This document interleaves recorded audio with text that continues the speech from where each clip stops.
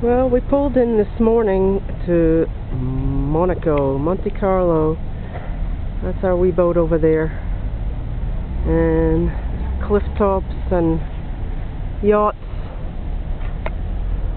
buildings all around the coast.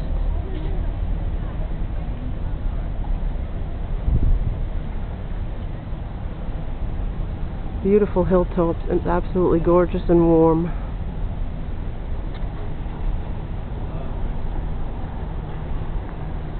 There's mom with her kiwi hat on.